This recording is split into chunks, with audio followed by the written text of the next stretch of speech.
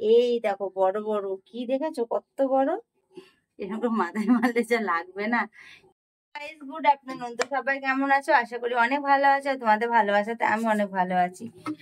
তো দাঁড়াও, ফোনটাকে রাখি।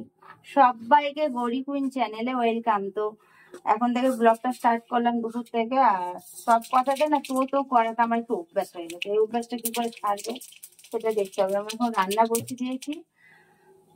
আর কি রান্না করছি? তোমাদের সেটা দেখাচ্ছি। দাঁড়াও, আগে তেলটা গরম হয়ে গেছে, তেলে আগে দিয়ে দিই, আমি এই যে পুঁই শাক করব।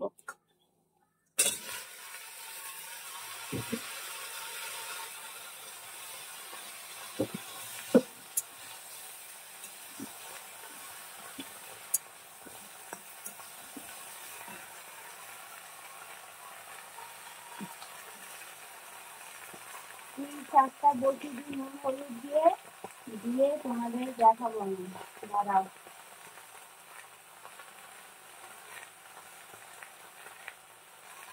আমার কদিন পরে রান্না করতে করতে এত দেরি হয়ে যাচ্ছে না কি বলব?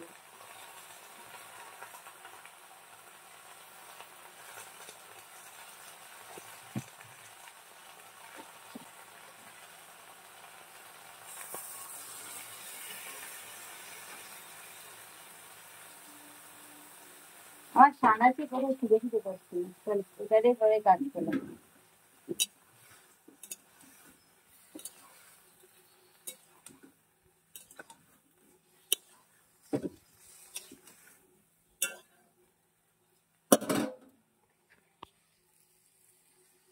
এই দেখো, পুঁই শাক বসিয়ে দিয়েছি, শুধু সর্ষে, লঙ্কা, ফোড়ন দিয়ে আর কিচ্ছু দেইনি। এটাই হবে। আগে এটা ঢাকা দিয়ে দিই। ঢাকা দেবার থালাটা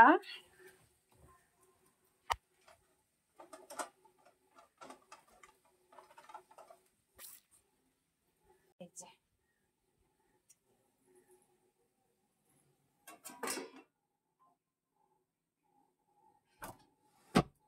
জানলাটা লাগিয়ে দিলাম কেন বলো তো? প্রচণ্ড হাওয়া দিচ্ছে আর গ্যাসটা জ্বলবে না।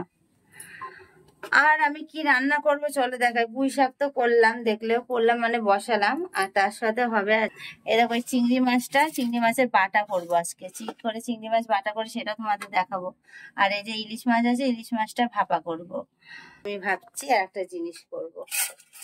এই দেখো বড় বড়, কি দেখেছ? কত বড়?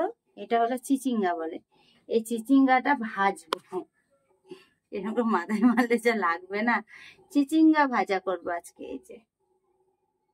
দোকানে চিচিঙ্গা আছে। চলো চিচিঙ্গাটা কেটে নি কানেরটা না বেঁকে গেছে। কানেরটা এরকমই হয়।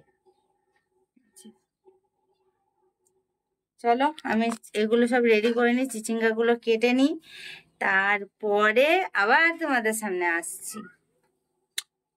চলো বন্ধুরা, কি কি রান্না হয়েছে তোমাদেরকে সবকিছু বলে দিই আমি এক এক করে, ঠিক আছে? আজকে সব থেকে ভালো রান্নাটা দেখা। ইলিশ মাছ তো ভালোই, ওটা প্রতিদিনই হয়। এটা হলো চিংড়ি মাছ বাটা। তোমাদের তখন বললাম না, এর মধ্যে দিয়েছি লঙ্কা আর পেঁয়াজ, রসুন, কালো জিরে দিয়ে তেলে একটু ভেজে, মাছটা একটু ভেজে একটু মিক্সিতে মিক্স করে নিয়েছি আর কি। সিলে করলেও হয়। আর নামানোর সময় কাঁচা সর্ষের তেল লবণ দিয়ে মাখিয়ে নিয়েছি। আর এটা হলো ইলিশ মাছ ভাপা করেছি সর্ষে পোস্ত দিয়ে। এটা হলো তোমার ওই চিচিঙ্গা ভাজা করেছি, আর এটা পুঁই শাক আর ভাত, এই হলো আজকে রান্না। তো তোমরা একবার চিংড়ি মাছ বাটা খেয়েও খুব ভালো লাগবে। চিংড়ি মাছটা তেলের মধ্যে ভেজে নিবে দিয়ে তুলে নেবে, হালকা ভাজবে, বেশি ভাজতে হবে না। আর ওর মধ্যে, কড়াইয়ের মধ্যে তেল দিয়ে কালো জিরে, পেঁয়াজ, রসুন, কাঁচা লঙ্কা দিয়ে হালকা করে ভাজবে। বেশি লাল না, হালকা হালকা করে ভাজবে। ভেজে মিক্সির মধ্যে হোক শিলপাটাই হোক তোমরা শিলপাটায় হলে বেটে নিবে, মিক্সিতে হলে ওটা পেস্ট করে নেবে। দিয়ে নামিয়ে ওর মধ্যে একটু সর্ষের তেল আর একটু লবণ দিয়ে মাখিয়ে খাবে। দেখবে ওইটা দিয়েই ভাত খাওয়া যাবে, আর কিচ্ছু লাগবে না। আমার তো খুব ভালো লাগে, তো অনেক দিন পরই করলাম এটা। তো চলো আমরা খাওয়া দাওয়াগুলো করি। বৃষ্টি তো কমেই নি খাওয়া দাওয়া করে চান করব। পুজো দেওয়া হয়ে গেছে ক্রিস পুজো দিয়ে চলে গেছে এই যে। তো চলো খাওয়া দাওয়াটা করি, আর কি বলব? খাওয়া দাওয়া করে আবার দেখা হচ্ছে তোমাদের সাথে। খাওয়া দাওয়া করে আর একটু শুয়েছিলাম আর আমার এখন বিকালবেলায়, বিকাল না, সন্ধ্যাবেলায় একটু খিদে পেয়েছে। তার জন্য মনে করলাম যে কিছু একটু খাই, মুড়ি খাব বলে। আর আমি এখন কি ভাজছি দেখবে? চলো তোমাদের দেখাই। এই দেখো এখানে সাবুর পাঁপড় আছে, তারপর এখানে ফুচকা পাঁপড় আছে, আর এই বড় পাঁপড়গুলো পুরাবো এগুলো ভাজবো না। তো দেখো ছোট এখানে এটা বসিয়ে দিয়েছি, এটাতেই করছি। বড় কড়াই আর আমি আর বসাইনি। কি সুন্দর করে দেখো ফুলে যাচ্ছে না? এটা হলো ছোট্ট ছোট সাগর পাঁপড়।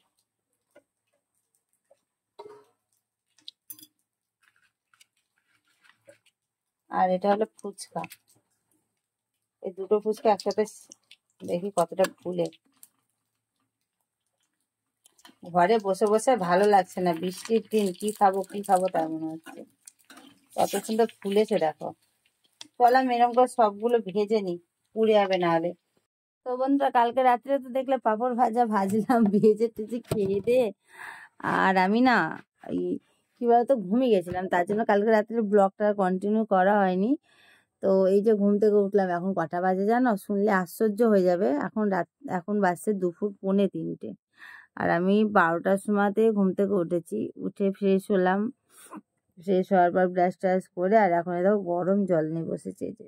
আমার যেটা সকালে ডায়েটিংয়ে যেটা খাই সেটাই খাচ্ছি আর এখন তো সকাল নেই, দুপুর হয়ে গেছে, তাও এটা আমার সকালেরই শুরু করতেই হবে যেহেতু আমি সকালে গরম জল দিয়ে আর চিরাশিট দিয়ে শুরু করি। গরম জল খাব, তারপর চিরাশিট খাব, তারপর থাইরয়েডের ওষুধ খাব, তারপর একটা আপেল খাব। তারপরে দুপুরে এসে ভাত খাব। এটা এরকম করে শুরু করি আমি। তো চলো আমি গরম জলটা খাই।